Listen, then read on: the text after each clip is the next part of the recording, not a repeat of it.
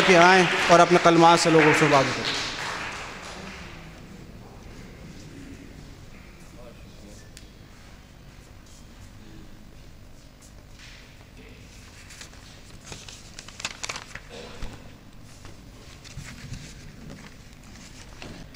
دیگر عہدہ داران یونین، ممبران کابینہ، دوستو یہ مجھے بہت خوشی ہے کہ ہم اس جلسے کے ذریعے Muhammad Anglo Oriental college, M A O college کو یاد کر رہے ہیں۔ اس کی زندگی اس کالج کی اٹھارہ سو پچہتر میں شروع ہوئی جب اسکول بنا اور اٹھارہ سو ستتر کالج کی بنیاد پڑی اٹھارہ سو ستتر۔ اور انیس سو بیس میں جب A M U act pass ہوا، تو اس کے بعد انیس سو اکیس میں وہ علی گڑھ مسلم یونیورسٹی میں منتقل ہوئی۔ تو اس کی یہ زندگی ہے تینتالیس سال کی۔ لیکن ہمارے لیے کے ورثے کو، اس کے ہیریٹیج کو یاد کرنا بہت ضروری ہے کیونکہ بہت سے ہمارے سامنے بھی ایسے ہی مسائل ہیں جو اس وقت بھی تھے۔ ہمیں دیکھنا ہے کہ اس زمانے میں ان کو کس طرح حل کرنے کی کوشش کی گئی۔ عقیدت مندی سے نہیں، بلکہ ریئلزم سے، اصلیت میں کیا ہوا۔ اس لیے یہ موقع قصیدہ خانی کا میں نہیں سمجھتا ہوں، بلکہ یہ موقع ہے کہ ہم دیکھیں کہ اس زمانے میں کیا دقتیں تھیں، کیا مشکلات تھیں۔ اور ایم اے کالج نے کیا رول ادا کیا۔ میں سید احمد خان صاحب کے بارے میں تو یہاں سبھی لوگ جانتے ہیں، سر سید کے بارے میں۔ مجھے صرف اتنا کہنا ہے کہ اس کی تشکیل سے پہلے سید احمد خان کے جو خیالات میں تبدیلی آئی، وہ ایم اے او کالج کی تشکیل اور اس کی ترقی کو سمجھنے کے لیے بہت اہم۔ ہے اٹھارہ سو ستاون تک سر سید نے انگریزوں سے بہت سی چیزیں سیکھیں انگریزوں کی سروس میں تھے۔ لیکن ان کا یہ خیال تھا کہ قرآن تخیل میں کوئی تبدیلی کی ضرورت نہیں ہے۔ اٹھارہ سو ستاون کے بعد ان کی یہ رائے بدلتی چلی۔ آپ کو جیسا معلوم ہے، اٹھارہ سو ستاون میں انہوں نے انگریزوں کا ساتھ دیا۔ اپنے قلم سے خود لکھتے ہیں کہ میں نے غدہ میں نے باغیوں کو دھوکہ دیا، ہندو زمینداروں کو، مسلمانوں کے خلاف اشتعال دلایا۔ جو اور آخر میں لکھتے ہیں اپنے رسالے میں کہ ہندوستان کے سب لوگوں نے بغاوت کی تھی، ان کو سزا ٹھیک مل رہی ہے۔ لیکن اسی کے ساتھ اسباب بغاوت ہند بھی لکھی، دوسرا ان کا رسالہ، جس میں انہوں نے ہندوستان کی لوگوں کی تکلیف جو تھی، خاص طور سے اس علاقے کی، ان تکلیفات کو بیان کیا۔ اور یہ کہا کہ اس لیے یہ بغاوت ہوئی تھی تو انگریزوں کو اصلاح کرنا چاہیے۔ تو اس میں تو کوئی شک نہیں کہ انہیں دو ان کی رائے تھیں کہ انگریزیوں سے پوری وفاداری ہو اور اسی کے ساتھ انگریزی حکومت میں اصلاح ہو۔ اس زمانے کے لیے یہ بھی ایک بڑی بات تھی، بہت اس کے لیے بھی ہمت چاہیے تھی کہنے کی۔ اس میں کوئی شک نہیں۔ پھر ان کو یہ خیال ہوا کہ مسلمانوں کے لیے بھی ضروری ہے اپنے تخیل کی اصلاح۔ اور وہ ایک حصہ ہے جسے ہم بھول جاتے ہیں۔ جہاں وہ میور کی جو بایوگرافی تھی، جو سوان عمری تھی رسول اللہ کی، اس کی انہوں نے نکتہ چینی کی اور اس کے خلاف وہ بڑی مشکل چیز تھی کیونکہ میور صرف عربی ماخذوں کی بنا پر اس نے پوری بایوگرافی لکھی ہے، کوئی عیسائی ماخذ نہیں تھا اس کا۔ تو اس میں اس کا مقابلہ کرنا بہت مشکل تھا، لیکن ایک طرف یہ ان کا فرنٹ تھا، مورچہ تھا۔ دوسری طرف وہ یہ بھی چاہتے تھے کہ مسلمان یہ سمجھیں کہ عیسائیوں کے ساتھ اور اسی لیے دوسرے مذہب والوں کے ساتھ ہمیں رہنا ہے۔ اس لیے مثلا انہوں نے بائبل میں تحریف ہوئی ہے، اس کی مخالفت کی، اس کو کرٹیسائز کیا کہ ایسی کوئی بات نہیں ہے۔ اور ایسے رسالے لکھنے شروع کیے، جس سے مسلمانوں کے جو پرانے عقیدے تھے بہت سے۔ ان کی انہوں نے مخالفت کی۔ اس بحث میں میں نہیں جانا چاہتا۔ بہرحال یہ ایک امپورٹنٹ چیز ہے جو ہمارے ایم اے کالج کی بنیاد پڑھنے سے پہلے ہوئی۔ اس میں سب سے ضروری وہ یہ سمجھتے تھے کہ ہندوستان میں کہ میں انگریزی تعلیم ہونا چاہیے۔ مسلمان انگریزی تعلیم میں بہت پیچھے تھے۔ میں صرف آپ کو دو دو آنکڑے دینا چاہتا ہوں اٹھارہ سو بیاسی میں۔ حالانکہ مسلمانوں کی تعداد اس ملک میں کوئی چوبیس فیصدی تھی، لیکن صرف ساڑھے تین فیصدی لڑکے کالج میں تھے جو مسلمان تھے۔ کالج میں جتنے لڑکے تھے، اس میں صرف ساڑھے تین فیصدی مسلمان طلباء تھے۔ اور اسکولوں میں دس فیصدی سے بھی کم تھے، نو، نائن پوائنٹ ٹو پرسینٹ تھے۔ تو آپ کی چوبیس فیصدی پاپولیشن ہو اور آپ کالج میں چار فیصدی سے بھی کم ہوں۔ اس وقت میں جب مسلمانوں کے پاس بڑی بڑی زمینیں تھیں، یو پی میں بڑی بڑی زمینداریاں تھیں، تیس پرسنٹ زمین مسلمان زمینداروں کی تھی، آپ یہ بھی نہیں کہہ سکتے تھے کہ غربت کی وجہ سے یہ ہو رہا ہے۔ تو سید احمد خان نے یہ ضروری سمجھا کہ یہاں کے میں مسلمانوں کو انگریزی تعلیم حاصل کرنا چاہیے۔ انگریزی تعلیم سے یہ مطلب نہیں تھا کہ صرف وہ نوکری میں انہیں ملے، بلکہ یہ بات بھی ہے کہ اس سے نئی طور سے وہ سیکھنا، سوچنا سمجھیں۔ جسے ہمارے ہاں معقولات اور منقولات میں فرق کہتے ہیں، منقولات سے ہٹ کے معقولات میں آئیں تو اس لیے انہوں نے یہ تحریک شروع کی کہ یہاں انگریزی تعلیم ہونا چاہیے۔ اس میں ان کی مخالفت دو تین سیکشن سے ہوئی۔ ایک سیکشن تو وہ تھا جسے بعد میں دیوبندی کہا گیا اور انہوں نے سجید احمد خان نے بھی دیوبند پہ ویسے حملے کیے، ایسا کرٹیسزم کیا جیسا دیوبندی ان پہ کرتے تھے۔ کہ کوئی دیوبند چلا جائے گا تو یہ سمجھیے کہ زندگی میں بیکار رہے گا، اس کا کہیں کوئی کام نہیں ملے گا۔ تو وہ تو وہ ایک اسکول تھا مسلمان علماء کا۔ جو کسی طرح انگریزی تعلیم کے لیے نہیں تیار تھے۔ لیکن ایک بڑا سیکشن مسلمانوں کا تھا، اور اسے نہیں بھولنا چاہیے جو انگریزی تعلیم کو چاہتے تھے کہ ہو، لیکن دینیات کے ساتھ ہو۔ پرانے عقائد بھی رہیں اور انگریزی تعلیم بھی ہو۔ اس کی بھی مثالیں موجود تھیں۔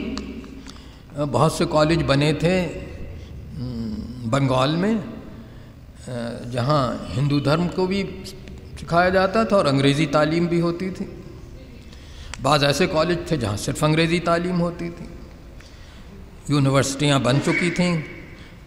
کلکٹا یونیورسٹی، بامبے اور مدراس یونیورسٹی اٹھارہ سو اٹھاون میں بن چکی تھیں۔ تو یہ لوگ سید احمد خان کے اس کے مخالف تھے کہ وہ ایک نظریاتی بحث اس میں کیوں لگا رہے ہیں؟ بھائی انگریزی تعلیم دیجیے، اس کے ساتھ دینیات بھی کیجیے تیسرا ایک اور سیکشن تھا جیسے آپ ہم بھول جاتے ہیں، جو سید احمد خان کے ساتھ دوسری وجہ سے تھا۔ چھوٹا تھا لیکن امپورٹنٹ تھا۔ وہ موجودہ تعلیم کو اسلام ہی کی تعلیم کے سمجھتے تھے کہ اسلام ہی نے یہ تعلیم دی ہے کہ آپ بڑھیں جائیں۔ وہ جو معقولات کا کی روایت ہے مسلمانوں میں جیسے بھول جاتے ہیں ہم لوگ، منقولات کے خلاف، اس کے وہ،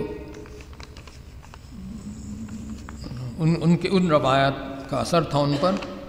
ایک جگہ ہے چڑیا کوٹ، اعظم گڑھ کے پاس، وہ اس کے لیے خاص طور سے مشہور تھا۔ یہ علماء وہاں کے سنسکرت اور ہبریو دونوں پڑھتے تھے اور عربی بہت اچھی تھی ان کی اور اس میں عنایت رسول چڑیا کوٹی ایسے تھے جن کا سر سید پر کافی اثر تھا۔ وہ انگریزی تعلیم سے ان کا ان کا اثر نہیں تھا، بلکہ جو اسلام میں ایک روایت ہے معقولات کی، اس کا ان پر اثر تھا۔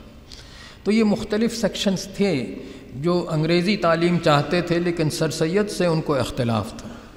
چڑیا کوٹی علماء کے میں معقولات کے تو ساتھ تھے، لیکن وہ سر سید کی جو، ان کا انٹرپریٹیشن قرآن شریف کا تھا، اس کے ساتھ نہیں تھے۔ لیکن پھر بھی وہ یہ سمجھتے تھے کہ ہمیں سر سید کا ساتھ دینا چاہیے۔ چنانچہ جب ایم او کالج، پہلے اسکول اور پھر کالج قائم ہوا، تو آپس میں بحث ہوئی کہ یہاں دینیات کیا رہے گی۔ اور آخر میں یہ جب ظاہر ہو گیا کہ چندہ مسلمان اسی وقت دیں گے جبکہ دینیات میں سید احمد خان کا کوئی دخل نہ ہو، تو وہاں یہ طے کیا گیا کہ دینیات کے سیکشن میں سید احمد خان کا کوئی دخل نہیں ہوگا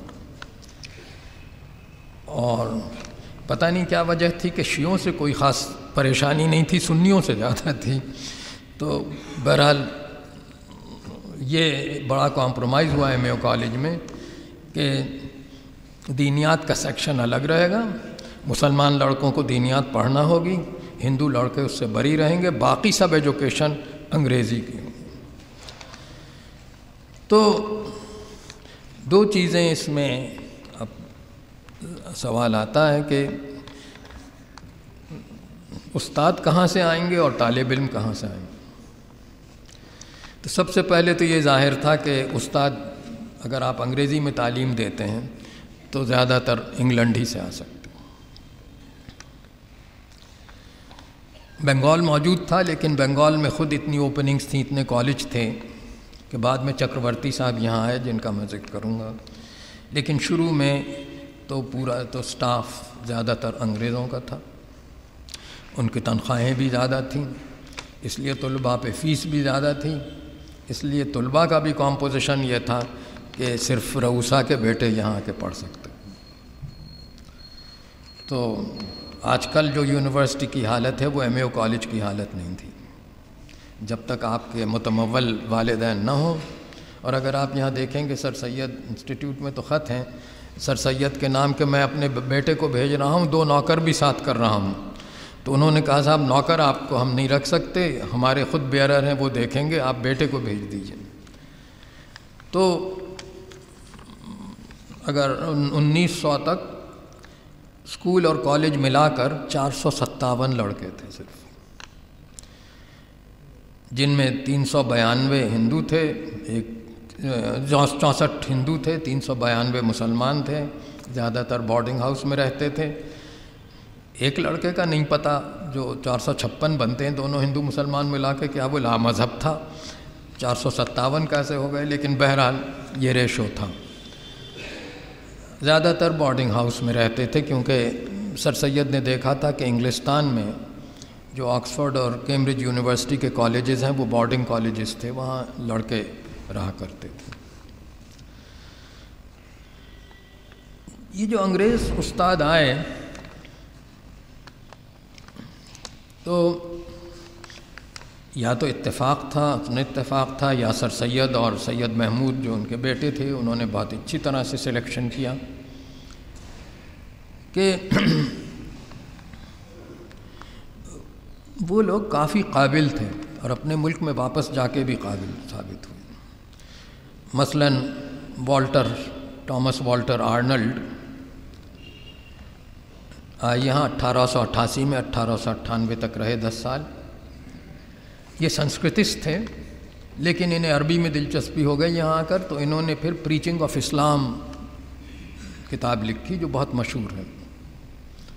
جس میں ایک طرح سے اسلام کی جو تعلیمات ہیں وہ انگریزوں کے لیے بیان کی گئیں۔ وہ ظاہر خود عیسائی تھے، لیکن بہت ہی فیئرلی انہوں نے اس کو بیان کیا۔ پھر وہ بڑے عربی میں اسکالر ہو گئے اسلامک اسٹڈیز میں چلے گئے۔ انگلینڈ وہ واپس گئے۔ لاہور ہوتے ہوئے، لاہور میں وہ دن کئی دن رہے۔ اٹھارہ سو اٹھانوے میں وہاں چلے گئے، پھر انگلینڈ گئے۔ انگلینڈ میں جب انیس سو بیس میں اسکول آف اورینٹل اسٹڈیز بنی، تو وہ اس کی ڈائریکٹر ہوئی جو ایک بہت بڑے، بڑا عہدہ تھا۔ دوسرے والٹر ریلے تھے۔ ابھی میں انگریزی میں انگریزی کا ایک طالب علم تقریر کر رہے تھے، وہ ان والٹر ریلے کو کوئن الزبتھ کے زمانے میں والٹر ریلے تھے، ان سے کنفیوز کر گئے کہ بڑے سیاستدان تھے۔ وہ سیاستدان نہیں تھے، والٹر ریلے، وہ انگریزی پڑھانے یہاں آئے تھے۔ اور اٹھارہ سو پچاسی اور اٹھارہ سو ستاسی تک رہے۔ یہاں رولے سٹائے بھی ان کے نام سے ہے اور وہاں آکسفورڈ میں جا کر وہ پروفیسر ہوئے انگلینڈ میں۔ تو یہ دونوں کافی بڑی ہستیاں تھیں جو اس وقت یہاں اور آپ سمجھ سکتے ہیں کہ اگر ایسے لوگ یہاں پڑھا رہے تھے تو پڑھائی کا لیول کیا ہوگا۔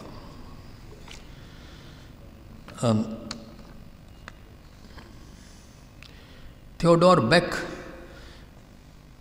یہاں آئے تھے اٹھارہ سو اسی میں اور وہ پھر پرنسپل ہوئے یہاں کے کالج کے۔ سر سید کے انتقال اٹھارہ سو اٹھانوے میں ہوا، اسی کچھ دن بعد ان کا انتقال ہو گیا۔ لیکن وہ سر سید کے بڑے معتقدین میں سے تھے۔ یہ بعض لوگ یہ کہتے تھے کہ سر سید پہ ان کا بہت اثر ہو گیا ہے۔ اور بعض لوگ یہ کہتے تھے کہ سر سید کا، کہ سر سید پر ان کا بہت اثر ہے۔ اور بعض لوگ یہ کہتے تھے کہ بیک سر سید کے بالکل غلام ہو گئے۔ لیکن جہاں تک کالج کے انتظام کا تعلق ہے ان کے تھیوڈور بیک کی تعریف کرنا چاہیے کہ انہوں نے اس کا بہت اچھا مینجمنٹ کیا۔ جہاں تک ان کی سیاست ہے، وہ اس وقت ہمارے لیے، اس وقت میں اس میں نہیں کچھ پڑھنا چاہتا ہوں۔ اس کے بارے میں کہنا چاہتا ہوں۔ اب یہ جو انگریز یہاں تعلیم دے رہے تھے، اور ان کا اپنا کلچر تھا، اور وہ یہ دیکھ کے آئے تھے کہ انگلینڈ میں کیسے تعلیم دی جاتی ہے۔ استادوں اور طلباء میں خلیج نہیں ہوتا۔ آپس میں جملے بازی بھی ہو جاتی ہے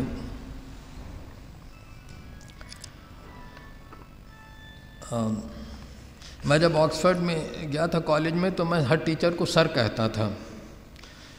بعد میں مجھے معلوم ہوا کہ وہاں اب سر کا رواج ختم ہو گیا ہے۔ وہاں جان اور جون اور یہ جو بھی ان کا پہلے بل یہ کہتے تھے لڑکے۔ لیکن مجھ سے کبھی یہ نہیں ہو سکا کیونکہ یہاں کی ٹریننگ سے گیا تھا۔ یہاں سر تو نہیں چلتا تھا، اس وقت ایم یو میں سانپ چلتا تھا، ہم ٹیچر کو ہمیشہ سانپ کہتے تھے۔ تو انگلینڈ میں خلیج بھی تھا اور اسی کے ساتھ یگانیت بھی تھی، استادوں اور میں۔ یہ یہاں بھی ہوا۔ تو جہاں انگریز کلیکٹر تو کسی ہندوستانی سے ٹھیک بات نہیں کرتا تھا۔ یہاں انگریز پروفیسر لڑکوں کے کمروں میں جا رہے ہیں۔ شوکت علی صاحب نے اپنے میموارز میں لکھا ہے کہ وہ اس وقت نہیں طالب علم علی گڑھ کے ہوئے تھے، رامپور میں بیک اور موریسن جو بھی یہاں پروفیسر تھے انگریزی کے، یہ فٹ بال کی ٹیم کو لائے تھے۔ تو جب یہ وہاں پہنچے شوکت علی دیکھنے کے لیے، شاید ان کے بھائی اس ٹیم میں تھے تو انہوں نے دیکھا کہ موریسن اور بیک لڑکوں سے ہنسی مذاق کر رہے ہیں۔ بیٹھ کر تو انہیں بڑا تعجب ہوا کہ انگریز ہندوستانیوں سے اس طرح سے بات کر سکتا ہے۔ جو ڈائننگ ہال میں تھا اس وقت کھانے کا، تو جو میم صاحبان تھیں، بیک کی بیوی اور دوسرے پروفیسرز کی بیویاں، وہ جا کے دیکھتی تھیں کہ لڑکوں کو ٹھیک کھانا مل رہا ہے یا نہیں۔ ان کی صفائی وغیرہ ہو رہی ہے یا نہیں۔ یہ بھی ایک بالکل یہاں کے طلباء کے لیے نئی چیز تھی۔ پھر یہاں ڈبیٹنگ شروع ہوئی۔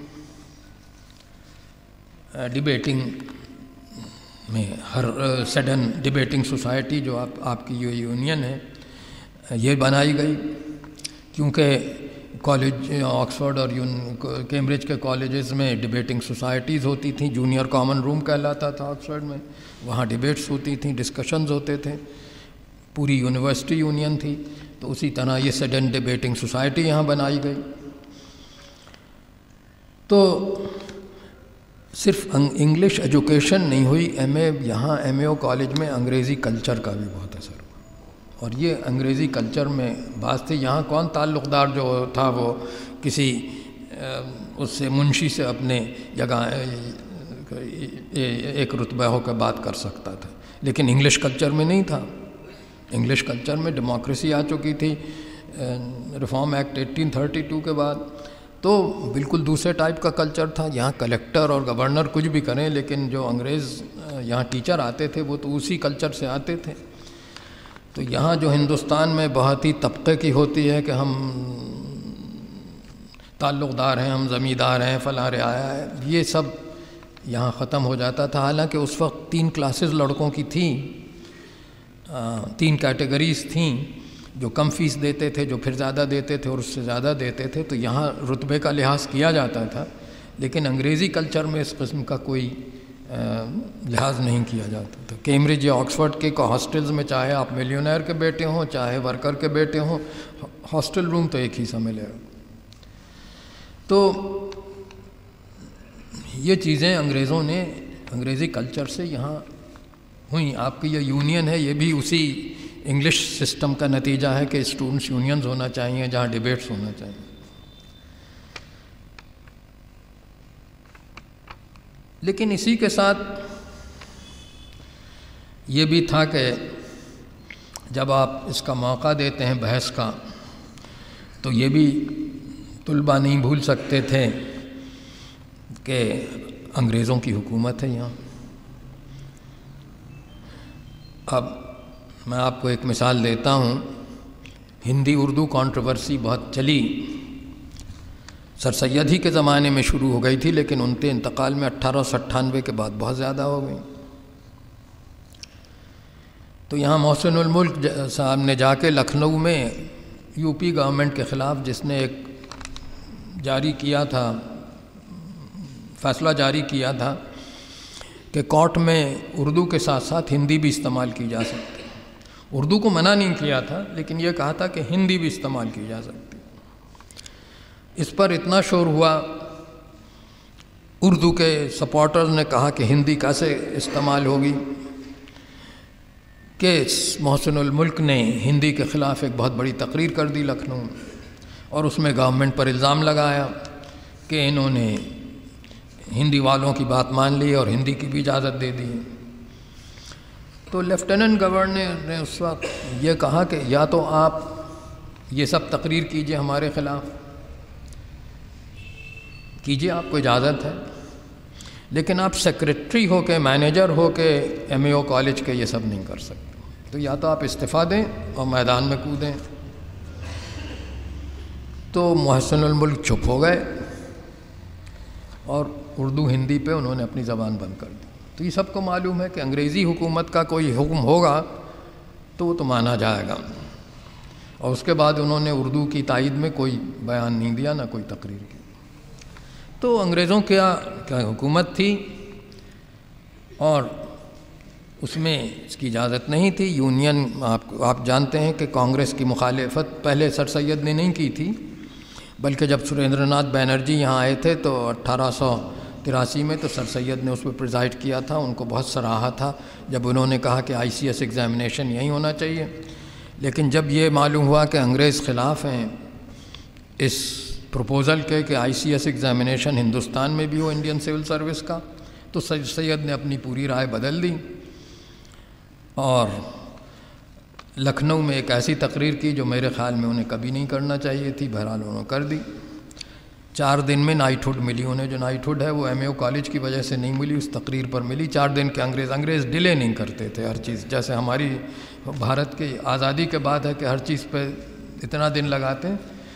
پسند آئی تقریر چار دن میں، پہلی جنوری اٹھارہ سو اٹھاسی کو نائٹ ہوڈ ان کو ہو گئی۔ تو وہ بھی سب کو یہاں معلوم تھا کہ نائٹ ہوڈ کیسے ملتی ہے۔ اتنی خدمات سر سید کی تھیں، اس پہ تو نہیں ملی نائٹ ہوڈ تو انگریزی حکومت کس طرح چل رہی تھی، اس کو سب جانتے تھے۔ اور اس لیے آہستہ آہستہ جو پورے ملک میں ہو رہا تھا کہ ہم نے ڈیموکریسی انگریزوں سے ہی سیکھی۔ ہمارے کلچر میں تو کوئی ڈیموکریسی نہیں تھی کبھی۔ ہم نے انگریزوں سے سیکھی۔ نیشن ہوڈ کیا ہوتی ہے، قوم کیا ہوتی ہے، قومیت کیا ہوتی ہے، ہم نے انگریزوں سے سیکھی۔ لیکن انہی کے خلاف ہم کھڑے ہوئے۔ انہی کانسیپٹس کو لے کر، انہی نظریوں کو لے کر۔ یہی بات اب علی گڑھ میں ہونے لگی۔ ایک سی آئی ڈی رپورٹ انیس سو تین یا انیس سو چار کی اس وقت حوالہ مجھے حاصل نہیں ہے۔ انہوں نے کہا ایک طالب علم ہے علی گڑھ ایم اے او کالج میں، حسرت موہانی اس کا نام ہے۔ اس کے کمرے میں ایک تصویر تلک کی لگی ہوئی ہے اور ایک تصویر گوکھلے کی لگی ہوئی یہ دونوں ہندوستانی قومی تحریک کے آندولن کے بہت بڑے لیڈر تھے۔ الگ الگ تھے، تلک ایکسٹریمسٹ تھے، گوکھلے ماڈریٹ تھی۔ لیکن حسرت موہانی جو یہاں کے طالب علم تھے، ان کے ہاں یہ لگی ہوئی تھی۔ حسرت موہانی یہیں کے پروڈکٹ تھے۔ اور شاید کچھ لوگوں کو کیونکہ علی گڑھ ٹریڈیشن میں اب اسے کیا کہیے؟ جیل گوئرس کی کوئی قدر نہیں ہے۔ لیکن یہ معلوم ہونا چاہیے کہ ہندوستان کی قومی تحریک میں ایک تاریخ انیس سو آٹھ کی بہت اہم ہے۔ وہ سوائے علی گڑھ کے پوری ہندوستان کی جو تاریخ نیشنل موومنٹ کی لیتی ہیں، ان میں لکھی جاتی ہے ہمارے یہاں اسے کوئی قدر اس کی کوئی عزت نہیں کرتے۔ انیس سو آٹھ میں حسرت موہانی اریسٹ کیے گئے۔ اور انہیں اس کی سزا دی گئی کہ انہوں نے انگریزوں کے خلاف ایک مضمون لکھا ہے سیڈیشیس دو سال کی سزا دی گئی۔ تو ایم اے او کالج کا پہلا شخص جو قومی تحریک میں شامل ہوا، وہ حسرت موہانی تھے۔ دونوں بڑے لیڈرز جو قوم کے تھے، ان کی تصویریں تھیں ان کے کمرے میں، اور ان کو یہ فخر حاصل ہوا۔ اس زمانے میں بہت کم لوگوں کو یہ سزا ہوتی تھی۔ کون لکھتا تھا انگریزوں کے خلاف مضمون؟ کہ سیدھا انہوں نے مضمون لکھا اور دو سال جیل میں گئے۔ اب مجھے پتہ نہیں کہ کورس میں وہ غزل ہے حسرت موہانی کی یا نہیں، لیکن جب انیس سو سینتیس میں کانگریس حکومت آئی علی گڑھ، یو پی میں تو انہوں نے ذاکر حسین صاحب اور سیدین صاحب کو یہ کام سپورٹ کیا کہ آپ اردو کا سلیبس بنائیے۔ اور وہ یہاں لاگو کیا گیا کیونکہ منٹو سرکل اس وقت یو پی گورنمنٹ کے تحت چلتا تھا، یونیورسٹی کے تحت نہیں چلتا تھا۔ تو ہمارے ہاں وہ غزل ہوئی جو جیل میں لکھی، شامل کی گئی، ظاہر ہے جب یہ دونوں شخصوں اور وہ سلیکٹ کریں کہ کیا چیز پڑھائی جائے گی۔ تو مجھے اب تک یہ شعر یاد ہے ہے مشق، سخن جاری، چکی کی مشقت بھی یک طرف تماشا ہے، حسرت کی طبیعت بھی۔ تو اس وقت ایسا جیل نہیں تھا جو آج کل تھی، چکی چلانا پڑتی تھی جب ہی آپ کو کھانا ملتا ہے۔ تو یہ یہ بھی ایک ایم اے او کالج کا کارنامہ ہے کہ ہم نے حسرت معنی پروڈیوس کی۔ اسی کے ساتھ یہاں یہ بھی خیال تھا جو سر سید نے جس کو بہت جس پر کا اصرار کیا اٹھارہ سو ستاسی کے بعد کہ مسلمانوں کو سیاست سے الگ ہونا چاہیے اور خاص طور سے ٹھاکروں، راجپوتوں کے ساتھ اور دوسری جو ایسی قومیں ہیں ان سے مل کر ہم کو بنگالیوں کو اپوز کرنا چاہیے کیونکہ اصل میں سرکاری حکومت میں وہی ہمارے رائیول ہیں، انگریز نہیں ہیں رائیول وہی رائیول ہیں۔ تو پیٹریوٹک ایسوسیشن بنانے کی کوشش کی انہوں نے جو ناکامیاب رہی۔ بہرحال، سید احمد صاحب کے بعد پھر کوشش ہوئی، شملہ ڈپیوٹیشن ہوا۔ اس میں یہ کہا گیا کہ اگر ہمیں یہ رعایتیں دی جائیں گی تو ہم کانگریس کی مخالفت کریں گے۔ یعنی صاف صاف تقریباً یہ کہا گیا۔ اور یہ رعایتیں دی گئیں۔ اس میں کانگریس کی طرف میں دو رخ تھے۔ ایک رخ تو یہ تھا کہ ہم اپوز کریں، اس کی مخالفت کریں کہ کانگریس کے مسلمانوں کو کیوں رعایتیں دی جائیں۔ دوسری گوکھلے کی پوزیشن تھی کہ بھائی وہ بھی ہندوستانی ہیں، ہمارے بھائی ہیں، اگر ان کو رعایتیں دی جا رہی تو ہمارا کیا جا رہا ہے؟ ہمیں بھی یہ کہنا چاہیے کہ ہمیں بھی اسی قسم کی رعایتیں دیجیے زیادہ سے زیادہ۔ لیکن ہمیں اس کی مخالفت نہیں کرنا چاہیے۔ اور گاندھی جی نے تو ہند سوراج میں یہی کہا کہ جو ہندو لیڈر اس کی مخالفت کرتے ہیں، مسلمانوں کو زیادہ رعایتیں دی جائیں، وہ بالکل غلط ہیں۔ اگر ہمارے بھائی کو زیادہ ہم سے مل جائے، تو ہمیں کیا اس میں ضرورت ہے؟ وہ ہمارے بھائی ہیں، ان کو اگر کوئی چیز رعایت زیادہ مل جاتی ہے تو ہمیں خوش ہونا چاہیے۔ آپ اگر ہند سوراج پڑھیں تو اس میں صاف صاف لکھا ہوا ہے انیس سو نو میں۔ تو ظاہر ہے، یہ اپوزیشن گوکھلے نے لی تو وہ بہت ہر دل عزیز ہوئے۔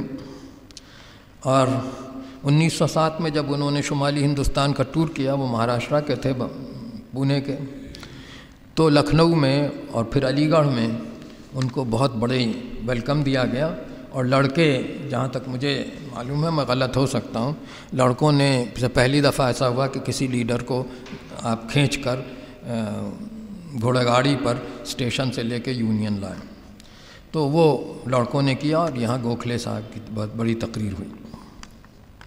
اب کہاں ہوئی تھی مجھے معلوم نہیں، ظاہر ہے یہ ہال تو نہیں تھا اس وقت۔ لیکن کہا جاتا ہے کہ بہت بڑی تقریر ہوئی اور لڑکوں نے بہت بڑا ویلکم دیا۔ تو ایک طرف تو انگریزوں کا مینجمنٹ پہ قبضہ تھا، دوسری طرف یہ ایک یہ بھی لہر تھی کہ انگریزوں کی مخالفت کی جائے، جو محمد علی اور شوکت علی خاص طور سے جس کے لیڈر ہو گئے زمانے میں۔ لیکن ان سیاسی باتوں کے ساتھ ہوتے ہوئے جسے میں کہہ رہا ہوں کہ جو نئے ڈیموکریٹک خیالات تھے، جمہوری خیالات جو ہمیں انگلینڈ سے ملے، انہی کو جب تک آپ انہی کی وجہ سے یہ ہند، یہاں یہ جذبہ پیدا ہوا کہ ہمیں بھی رائٹس ہونا چاہیے، ہمارے بھی حق ہونا چاہیے، ہم کو بھی کوئی جیل میں نہیں بھیج سکتا جیسے حسط مہانی کو بھیجا گیا ہے۔ تو اس طرح سے یہاں بھی وہ جذبہ پیدا ہوا۔ لیکن اسی کے ساتھ میں آپ کو آپ سے یہ کہ شاید اس پر بھی دیکھنا چاہتا ہوں کہ ہمارے ہاں اس زمانے میں ایم اے کالج میں کس طرح سے علم کی اور خاص طور سے معقولات کی ریشنلزم کی کس طرح سے ترقی ہوئی۔ انگریزی استاد تو تھے ہی، ایک بنگالی استاد بھی تھے ہمارے ہاں۔ چکرورتی صاحب بابو جادو چندر چکرورتی اٹھارہ سو اٹھاسی سے انیس سو سولہ تک انہوں نے یہاں سروس کی چوبیس سال وہ میتھمیٹیشین تھے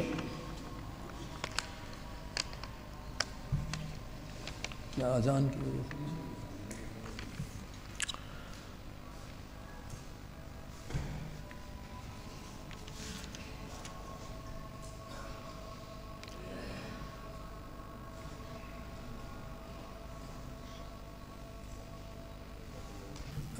چکرورتی صاحب انیس سو پانچ میں جب بنگال کا پارٹیشن ہوا، تو یہ وہاں گئے تھے۔ اور وہاں انہوں نے جو پارٹیشن کے خلاف ایک جلسہ تھا، اس پہ پریزائڈ کیا۔ تو سی آئی ڈی نے فوراً ایم اے او کالج کو اطلاع دی۔ اور یہ پہلا کلیش انگریز ایک کلیش انگریزوں اور انگریز پروفیسرز اور مینجمنٹ کا ہوا۔ وہ چاہتے تھے کہ چکرورتی صاحب کو ڈسمس کر دیا جائے۔ لیکن مینجمنٹ اس کے لیے تیار نہیں ہے۔ تو چکرورتی صاحب یہاں رہے، پروفیسر۔ ان کی جو ٹیکسٹ بک ہے میتھمیٹکس کی، وہ بہت اہم اس لیے تھی کہ انہوں نے جو ہندوستانی طریقے تھے حساب پڑھانے کے اور جو انگریزی طریقے تھے، دونوں کو استعمال کیے۔ اور نتیجہ یہ ہوا کہ یہ بہت ہر دل عزیز ہوئی کتاب، پورے ہندوستان میں یہ چلتی تھی۔ میں جب منٹو سرکل میں تھا تو ہم اردو میں اس کا ترجمہ تھا، وہ اس سے حساب میں نے سیکھا۔ اور بعد میں ہائر کلاسز میں اس کا انگلش ایڈیشن تھا، اور ایڈوانس کا وہ ہم نے پڑھا۔ ہم لوگوں کو اس سے سکھایا گیا۔ ہندی میں بھی اس کا ٹرانسلیشن ہوا تھا، اور یہیں یہ ایک شہر میں پریس تھا، اس میں چھپتا، چھپتی تھی کتاب۔ تو ہر جگہ وہاں یہی لکھا ہوا تھا۔ تو Jadu Chandra Chakravarti professor M A O college. کچھ پہلے تو ہمیں معلوم ہوا کہ ایم اے او کالج کیا ہے، وہ چکرورتی صاحب کی کتاب سے معلوم ہوا کہ کوئی ایم اے او کالج بھی تھا یہاں پہلے۔ تو، ان کی میموری بھی ہمارے لیے بہت اہم ہے۔ روپیہ ضرور کمایا ہوگا انہوں نے، کیونکہ بہت بکتی تھیں ان کی ٹیکس بکس پورے ہندوستان میں چلتی۔ دوسرے اور بالکل بڑے اونچے لیول پر مولانا شبلی تھے۔ جو میں چاہتا تھا کہنا کہ وہ اس ٹریڈیشن کو ریپریزنٹ کرتے تھے جو اسلام مسلمانوں میں ہی تھا، معقولات کا جیسے کہتے ہیں ریشن ریشنلزم اور اس لیے ان کی سید احمد خان صاحب سے اتفاق بھی رہتا تھا اور اختلاف بھی رہتا تھا۔ وہ یہاں فارسی کے پروفیسر تھے۔ اور شہر العجم، آپ نے نام سنا ہوگا کچھ لوگوں نے، وہ پانچ جلدوں میں ان، انہوں نے تصنیف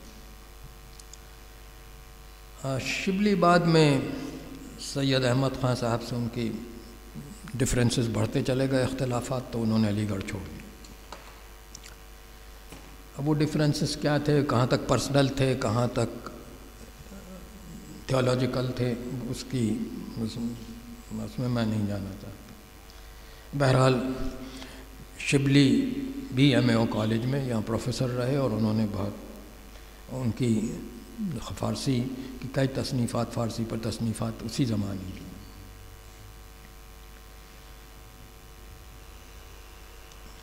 ایم اے او کالج کے آخری زمانے میں ایک اور یہاں شخصیت تھی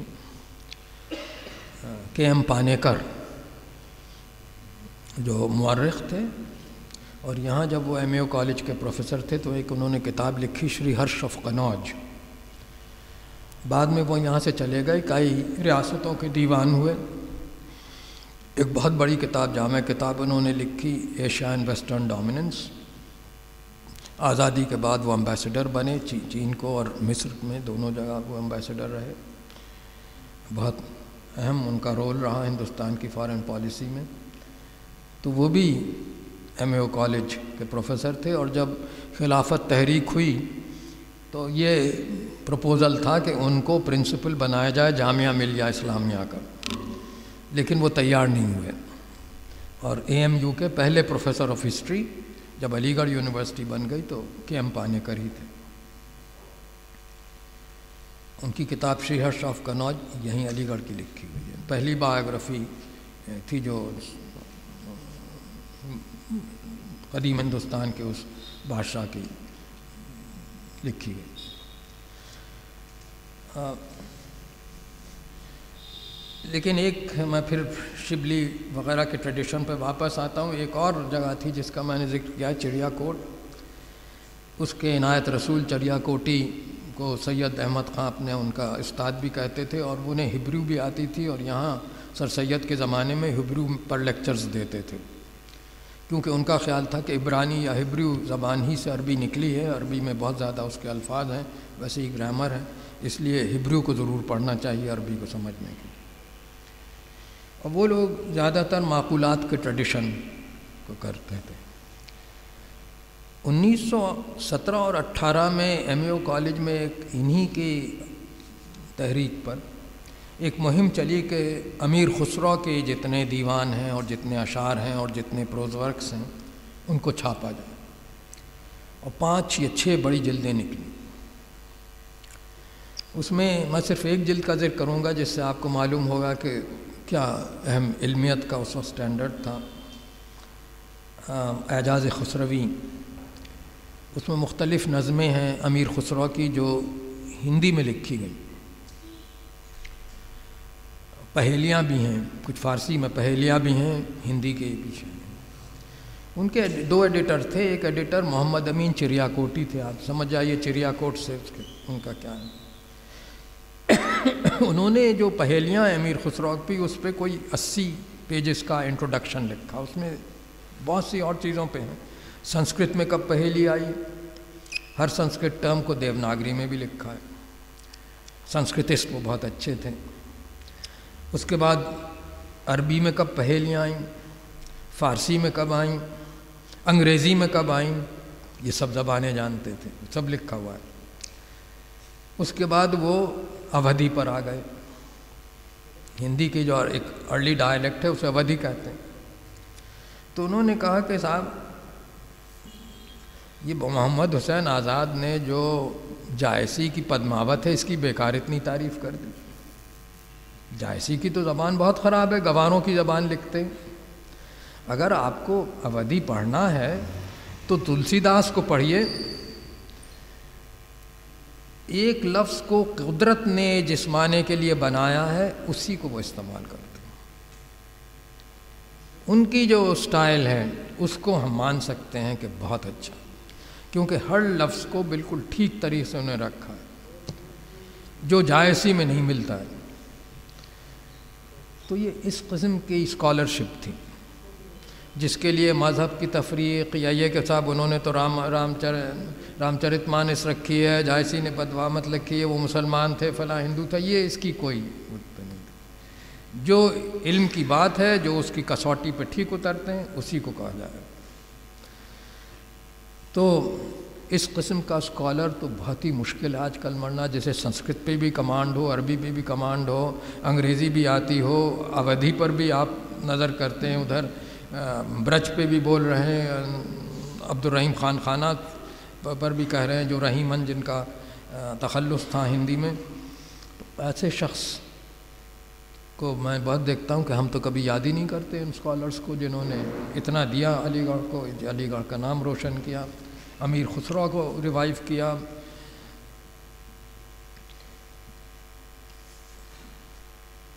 M U college M U Aligarh Muslim University act کے بعد تو ظاہر ہے اسے ایم یو میں تبدیل ہونا تھا۔ اور اس کی پوری نوعیت بدل گئی یونیورسٹی ہونے کے بعد۔ اس سے پہلے وہ کیلکٹا یونیورسٹی میں تھا، پھر جب الہ آباد یونیورسٹی بنی تو الہ آباد سے لاحق ہو گیا۔ پہلے یہ خیال تھا سر سید اور ان کے ساتھیوں کا کہ اردو یہاں زبان ہوگی، لیکن جب کیلکٹا یونیورسٹی میں ہوا تو انگریزی ضروری ہو گئی، وہاں تو انگریزی ہی چلتی تھی صرف۔ جب الہ آباد سے لاحق ہوا تو الہ آباد میں بھی انگریزی ہی چلتی تھی۔ لیکن ایم یو کالج اس لیے مشہور ہوا اور کہ اور کالجز کے مقابلے میں یہاں سائنس فیکلٹی، سائنس کا بھی تھا۔ اور سید احمد خان صاحب جب علی گڑھ الہ آباد جاتے تھے تو وہاں یونیورسٹی سے کہتے تھے کہ سائنس پر ضرور توجہ ہونا چاہیے۔ تو جو آج آپ اے ایم یو میں سائنس فیکلٹی کو دیکھ رہے ہیں اور اتنی یہاں کام بھی ہو رہا ہے، اس سب کی جڑ ایم یو کالج میں جب الہ آباد یونیورسٹی سے لاحق ہوا تب پڑھی، یہاں سائنس کے سیکشنز بڑھے۔ میرے والد نے بھی جب یہاں کیا تو وہ ہسٹری کے پروفیسر ہوئے، لیکن انیس سو پندرہ میں جب انہوں نے بی ایس سی پاس کیا یہاں سے، تو بی ایس سی پاس کیا تھا، سائنس سے کیا تھا، الہ آباد یونیورسٹی میں ان کا امتحان ہوا۔ تھا تو آج یہ بڑی خوشی کی بات ہے کہ ہم یہ قومے میں کالج کو سیلیبریٹ کر رہے ہیں۔ اس کا ایک بڑا ورثہ ہے۔ ہم یونیورسٹی ہیں، اس لیے علم کا جو اس کا ورثہ ہے، اس کی ہمیں بہت قدر کرنا چاہیے۔ آپ نے جناب صدر اور آپ کے ساتھیوں نے مجھے یہ موقع دیا کہ ان علماء کی، ان عالموں کی ان اساتذہ کی جنہوں نے اس زمانے میں ایم او کالج کا نام روشن کیا، چاہے میتھمیٹکس میں ہو، چاہے فلاسفی میں ہو، چاہے فارسی ادب میں ہو، ان کا یہاں ذکر کیا جائے۔ آخری لفظ صرف میں یہ کہنا چاہتا ہوں کہ ایم اے کالج کے لیے یہ بھی باعث عزت تھا کہ وہ ان انسٹیٹیوشنوں میں تھا، جس میں گاندھی جی جب ساؤتھ افریقہ سے یہاں آئے، انیس سو پندرہ میں انگلینڈ ہوتے ہوئے تو آپ کی اس یونین نے ان کو دعوت دی، جو سوسیڈن سوسائٹی کہلاتی تھی اور اس دعوت میں جب گاندھی جی بلائے گئے تو بہت امید یہ تھی کہ بڑی دھواں دھار وہ تقریر کریں گے، اپنے ساؤتھ افریقہ میں کارناموں کو بیان کریں گے، لیکن انہوں نے ایسا کچھ نہیں کیا۔ انہوں نے طلباء سے یہ کہا کہ صاحب آپ اپنی آپ ہی پہ ریلائی کیجیے سیلف ریلائنس اور سیلف ہیلپ پر تقریر کی کہ کسی کو مت دیکھیے، خود ہی آپ اپنے لیے اپنے ہی بل پر جو کچھ آپ کو آپ کرنا چاہتے ہیں وہ کریں۔ تو یہ گاندھی جی کا ایک میسج بھی ایم اے او کالج کے ذریعے ہم تک پہنچا۔ تو ایم اے او کالج ہماری ہیریٹیج کا ایک بڑا حصہ ہے۔ اچھی اور بری باتیں دونوں ہر انسٹیٹیوشن میں ہوتی ہیں۔ لیکن اتنے کم کالج ہوں گے، دیش میں پریزیڈنسی کالج وغیرہ کو چھوڑ دیجیے اب ان کی تو دوسری بات ہے۔ لیکن بڑے شہروں کے باہر جنہوں نے اتنے عرصے میں پندرہ سو، سترہ سو، اٹھارہ سو پچہتر اور انیس سو اکیس کے بیچ میں اتنی علمی خدمات کی ہوں اور قومی تحریک میں ایسا حصہ لیا ہوں۔ شکریہ۔